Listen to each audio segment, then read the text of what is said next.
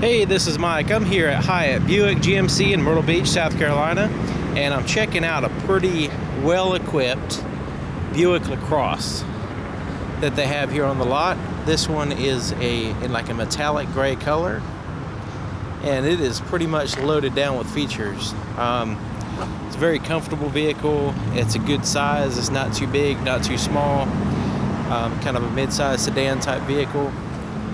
So here in the front, it's got that classy Buick look in the front with the grille, as well as a projector headlight system here. You can see it's got the, the projector tube there. Um, that's powered by high intensity high intensity discharge HID um, light source.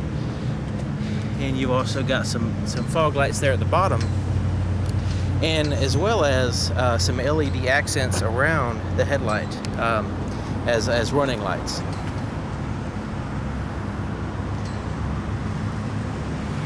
Now this car rolls on 18 inch uh, aluminum wheels, aluminum alloy wheels.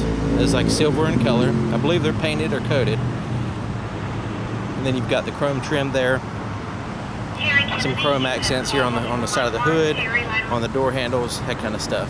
Then you've got these side marker lights here on the side of the uh, side mirrors.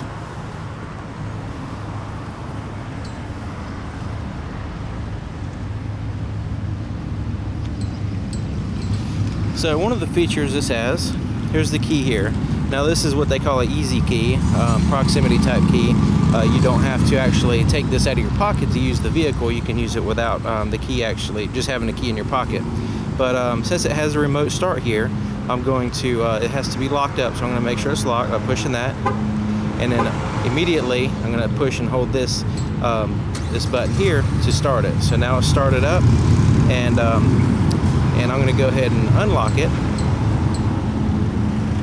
And like I said you can just keep this key in your pocket. You don't actually have to do that but um, just for the sake of the video I'm going to do that just for convenience for me. So here's the here's the inside of the passenger door. You can see we've got a um, a black interior. Now it does have the white stitching here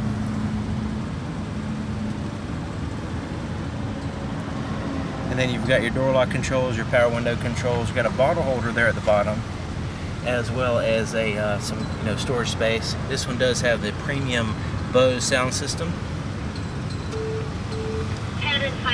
You've got the Buick threshold there. Eight-way power passenger seat with a uh, an adjustable headrest. And you've got the seat here. It's good quality leather, nice. Um, it's got some give to it, but it has a good firm feel. It's not going to be too cushy. And then it's got you've got your uh, your stitching around there. Let's check out the glove compartment. It is a felt lined glove compartment that has a pretty good amount of pretty good amount of space in there.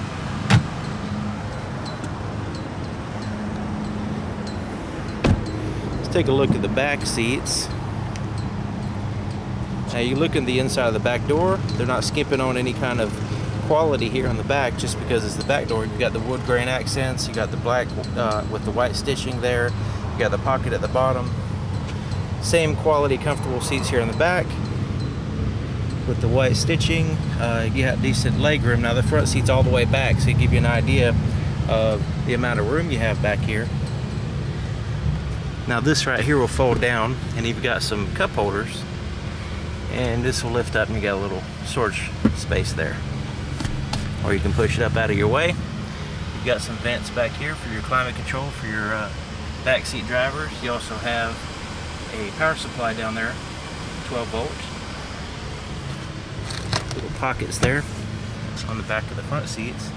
These seats will fold down in case you need to have some more uh, cargo space in the trunk. You can do that as well does have the latch system for the car seats with the anchors there on the back behind the headrests. Alright, so let's take a look here.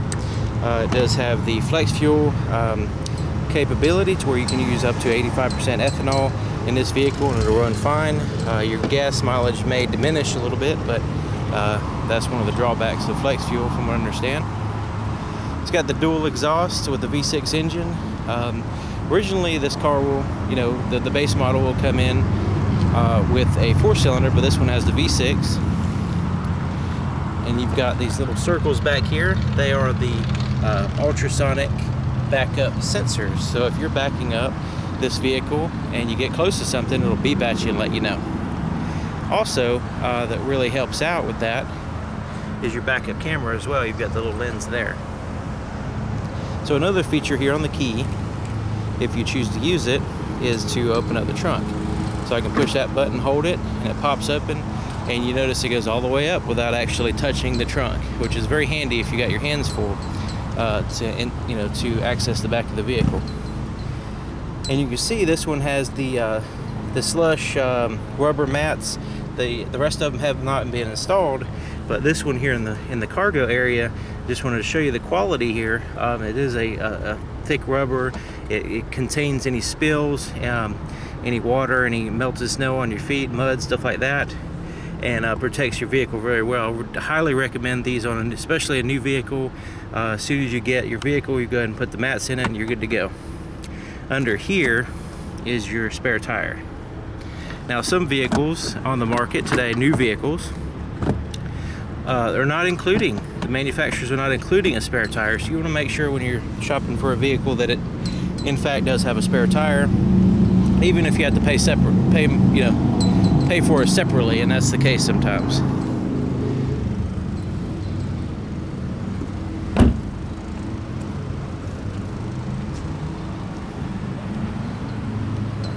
Take a look here. And I think the 18 inch wheels really go well with this uh, size vehicle. Um, 20 inch 20 inch may go well, but uh, the 18 seems like a really good size for this particular uh, shape and size of the vehicle. So what I was mentioning before about the keeping the key in your pocket, uh, you can actually use the vehicle just by pushing this button. So I got the key in my pocket now, and I can lock the doors, and I could unlock them using this button here. And um, so basically I can, you see right there, I don't know if you can see that thing right there, that's the door lock. It's going up and down when I push the button. It senses the key nearby and it's and so when I push the button it knows that I'm you know safe to unlock the car for me and right here is uh, this little car with the thing there that's a um, like a lane departure warning and also a blind spot monitor uh, system this vehicle has. It's got a lot of stuff, but this will let you know if there's a vehicle in your blind spot to avoid a, uh, turning into a, a vehicle. So here's the inside of the driver's door. And uh, you see this one's kind of a mirror of the other side, except for it has a few extra buttons. One is this button down here uh, to open up your trunk if you want to use that one. You also have your presets for your seats. Um, that does have the uh, power seats that can be preset. Power windows, front and back, and then you got your side mirror controls, left and right, and then it's like a little joystick, you move it around. There's your power door locks there. There's your power adjustments for your seats as well as your lumbar support. You do have automatic headlights. There's your dimmer switch there to the right of that. There is a heads-up display on this vehicle and uh, and this is for controlling your some of your menus. I'll show you that in a second. So hopping in, it's kind of noisy outside. Man, these seats are comfortable. Um, there's a little pocket there for putting stuff, change or whatever. All right, so the fan's on a little bit loud, but you probably have noticed now that the outside noise is completely gone for the most part it's, uh, it's very quiet in here so since I use the remote start I still have to push this button to turn everything on so I do that and everything kind of comes to life Got your gauges um, turn on some of them are analog gauges some of them are digital but let's start here on the steering wheel it is a leather wrap steering wheel. This vehicle is in demonstration mode, connected by OnStar's high-speed 4G connection. Press the blue OnStar button to learn more. Okay, maybe later. All right, so you notice, I don't know if you noticed, that was pretty interesting. Um, the fan is blowing pretty strong right now, and it was kind of loud. So when the the voice uh, the voice how do I explain this? The message, the audio message that was played, the fan dimmed out a little bit so you can hear the message a little bit easier. I don't know if you noticed that. Pretty interesting. Rewind it or listen to it again. Maybe it was just my imagination. Anyways, back to the steering wheel. You've got the leather wrap with the stitching on the inside, and you've got the, um, you know, these these kind of bumps right there for kind of a, gives you a little bit of a sporty look and a, and a good grip on the vehicle um, while you're driving. So here on the left side is your cruise control and this vehicle has a little bit more advanced, well a lot more advanced uh, cruise control than the average vehicle. Uh, it has a um, what's called a um, I don't know the exact terminology for Buick, but it's basically called a it's an adaptive cruise control. It adapts your distance from the vehicle in front of you. So, like say you see this right here, this little symbol right here. You see, notice it has a, a vehicle in front of a, another vehicle, and basically, um, if you're driving and you're driving along and say you got the cruise set at 70 miles per hour and a car in front of you is going 68 or 65 and um, you know you're not going to pass them or anything so basically you just keep going and the vehicle will slow down just enough to match their speed while they're in front of you to avoid you having to constantly fine-tune and uh, you know micromanage your uh, your cruise control so basically it does that for you. It just does it at a set distance away from the car in front of you um, at a convenience. And that's something really handy. I get really annoyed trying to constantly change my cruise control to match the people in front of me.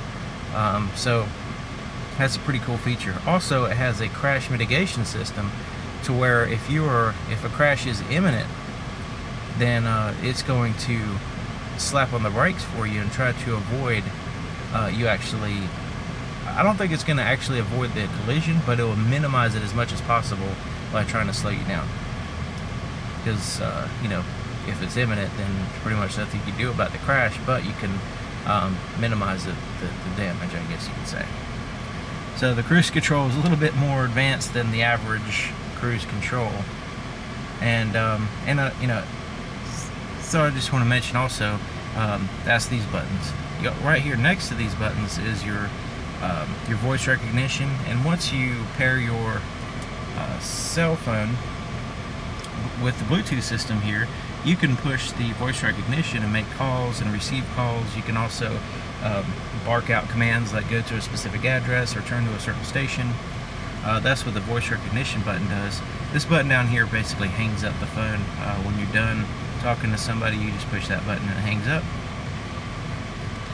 whether they're done or not So here on the right, we've got a um, some more buttons, and these correspond with, uh, well, for one thing, this is your volume on your radio, so you can turn your volume, and it gives you an indicator there. Froglets, you know, jumping around. But, so it's right there, convenient for your thumb. So I'm going to turn it down. And uh, but these buttons here correspond with this. It's kind of a menu system here, and a little bit of a glare right now. Let's see here. It's funny when uh, on a V on with your naked eye the glare isn't as bad as actually on the camera. But anyway, let's try to continue on. So I'm going to just kind of scroll through and show you what I'm talking about. You can push the button and it kind of uh, goes into a certain menu system and you can get different information there. Um, you can also do that on this screen here. You can kind of scroll through some different screens. And of course, if you have favorites, it'll scroll through the favorites, but in this case, it's not going to do that. Um, so let's go back out of that to that menu. And then once you get into a specific place, there's a center button here, this little check mark. You can choose, like right now I'm going to choose that, um, uh, the navigation, and it's going to give me a little, little tiny view of the map on the navigation screen in the center of the, uh, the speedometer, which is a pretty cool feature. So there's lots of little things that you can do with that, that center screen in addition to just tell how fast you're going. I think that's pretty cool. Alright. Wipers and stuff there. Now let's just take a look. Hopefully this air conditioner isn't interfering too much. It's just really hot, so I do have the air conditioner on. Alright, so here's your touchscreen. And basically, the touchscreen is these three things at the top. Your radio, your phone, and your navigation. So that's kind of your basic stuff there. So right now we're in the radio. We're on, you know, certain station on FM. And, um, and there's presets there at the bottom.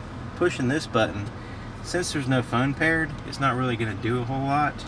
Uh, but you'll have um, all kind of more once you pair a device, which you have that button there to the right, you'll have more of a menu system pop up to where you can, uh, uh, you know, like your phone book and call different people. Navigation is right here. Um, this is where you can view the map. You can also push that destination button, put in a specific address or, or a place that you want to go, and um, it'll take you there. And then you've got your outside temperature on the top left, and then your uh, your time, uh, your little clock there on the top right. Now right above the screen, you've got your lane departure warning uh, button there on the left side to where if you want to turn that off, you can. The center button is your, um, your four lane emergency flashers. And the button to the right is your parking sensors. Now, sometimes you're backing up and you're getting close to something and you're not really sure, um, it, you are sure that you're not going to hit something, but the, the backup parking sensors are just beeping at you like crazy. So you can you have the ability to turn those off if you want to, uh, just to you know uh, regain you know to to maintain some sanity there. So that that's one cool thing there. Then you've got some redundant buttons here: your volume, tune through the stations, go through uh, tracks. Now it does have a CD player down here. Um, you know, it does have a. You can always go to the home button, which gives all your icons here. Um, now you can once a lot of these are uh, depending on your cell phone now. So like the, the Pandora and uh, your text, stuff like that is dependent on your cell phone. The OnStar is not. So um, the vehicle does have its own cellular connection to where it can uh, access that stuff without your cell phone. And then you've got to set, you know, different settings and stuff there, uh, which goes into pretty pretty good amount of different details there. But anyway, most of the stuff you won't have to use on a regular basis. So down here is your climate control, and you'll notice you have two touch screens down here as well. One on the left, one on the right. And this does have the heated seats, which I can turn on here on the on the um, on the, the passenger driver seat. And um, so basically, I can push these right here. They're just soft touch buttons, and I can change the temperature for driver and passenger. Right now they're synced. You can see that sync button there.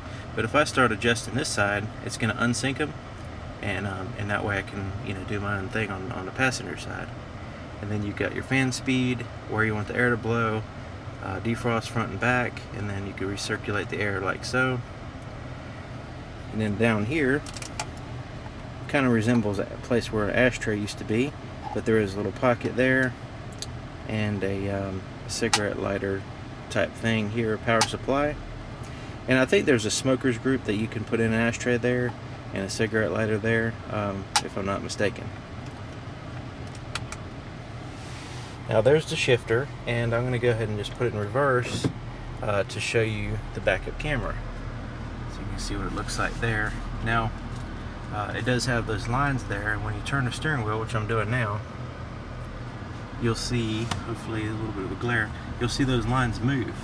And they, uh, there's the lines are giving you an estimated trajectory of the vehicle and also an estimated size compared to its surroundings. It is a widescreen, I'm sorry, wide angle lens back there to where it gives you a little bit more um, of a view than what you would naturally see with your eyes. So, um, so the lines kind of help you give you a, a, a more realistic uh, size comparison of your vehicle as it's backing up. It is just a guide, so I wouldn't uh, just put it in reverse and just floor it backwards, uh, assuming that that's going to be 100% accurate. Um, it is just to kind of help you, you know, visualize it. Um, but you still want to use your side mirrors, your rearview mirror, and all that good stuff. And of course, turning around um, too as well, looking behind you. All right, so let me continue down. There's neutral. There's uh, there's drive. Now it does have a manual mode. You put it down on M, and so now uh, it says M1. So right here on the side of the shifter, you see this plus and negative. I'm going to push that button, and it'll cycle through. It won't let you go but so far, but um, it won't allow you to shift too far. But you can kind of uh, cycle through the um, the gears there, and uh, with a six-speed transmission, in case you need a little bit more control of the uh, the shift points. So, put back in park. This is a um, electronic parking brake, and you can you can turn it on by lifting it up, and you push it down to release it. Your traction control, stability control is there. You can turn that off. Default is on. The only time you'd really want to turn that off is if you are getting stuck or something. You need to spin tires or um, rock the vehicle or whatever. Got some cup holders in here, which is always a necessity. And I like the way it's got these little bolsters here on the side um, to adapt for all different size cups and bottles and stuff. And that closes up when you're not using it. And this this center console is pretty neat. Uh, when I take my arm and I unlatch it, it kind of slides back and up at the same time and follows like this course and it's got these tracks in there. And what basically what happens is see if I can demonstrate this. Um, when you when you open it up your arm just kind of stays on it and it's like a real comfortable place to put your arm out of the way while you're accessing your stuff. In here you also have there's a place here for wires to go in and out because there's a power supply right right there at 12 volt. You also have a USB and an auxiliary input there as well. This is a felt lined um, like a felt fabric carpeted interior. Has a little tray that you can take in and out for quick access stuff. And of course you can close it back if you're when you're not using it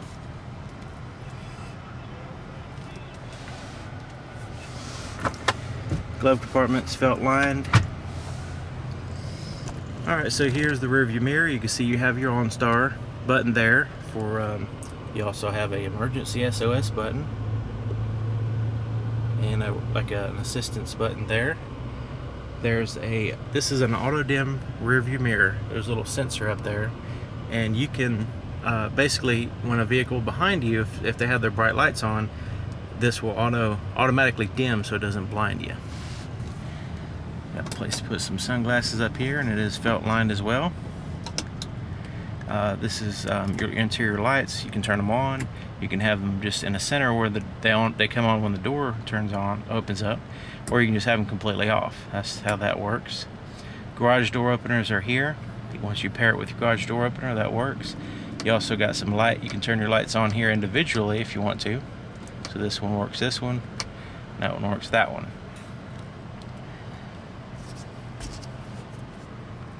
Your visor. It's got mirrors and lights. And it's the same thing on the other side. Now, this one has the dual pane panoramic sunroof. And they're controlled using these buttons here. See if I can get the right camera angle so you can see what I'm talking about. So I'm going to go ahead and open up the shade.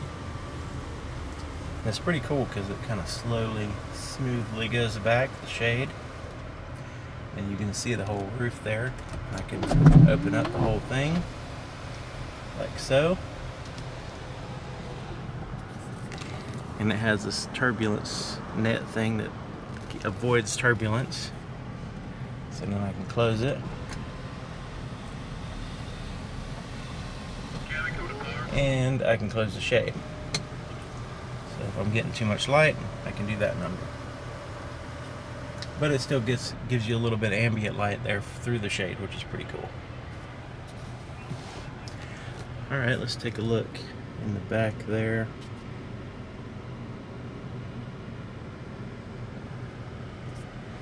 Adjustable headrests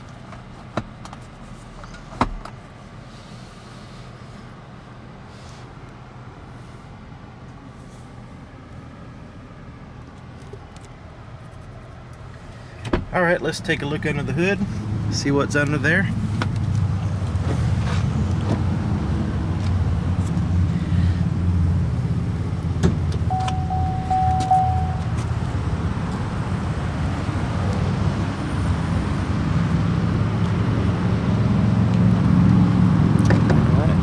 In there and right in the center, put your finger in there and push to the push to the right, sorry. So basically I'm gonna push it to the right, and lift up with my hand. Once it reaches a certain point, it'll go up by itself. So here's the uh, V6 VVT engine. Um, VVT is a very groundbreaking uh, advancement in, in modern engine technology. You should check into it if you're interested. But basically, um, it gives you better performance and better gas mileage simultaneously, which is amazing. And look at there, you get to see some metal. A lot of cars. I mean, this is our, it is covered up with plastic, but a lot of cars are completely covered up, so it's good to see some metal when you lift the hood. I, I, that's what I prefer anyway.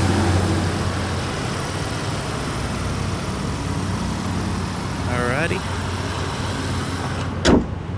Let's take a look at the window sticker. 2015 LaCrosse. Kevin, come to parts, please. And feel free to use the pause button to check it out.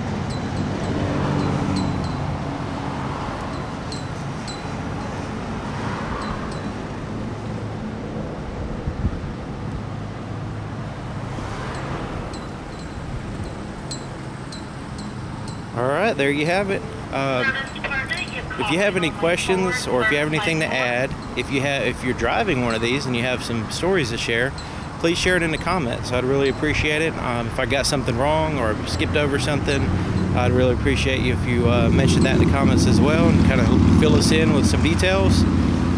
And I think everybody would uh, really appreciate that. Also, I'd appreciate it if you could support my channel.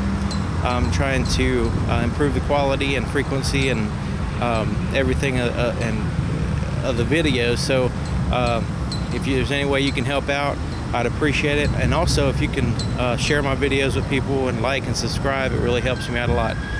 Thank you for watching, and I'll see you next time. Thank you also for to Hyatt Buick GMC in Myrtle Beach, South Carolina, for allowing me to check out this awesome vehicle. Thanks for watching. See you next time.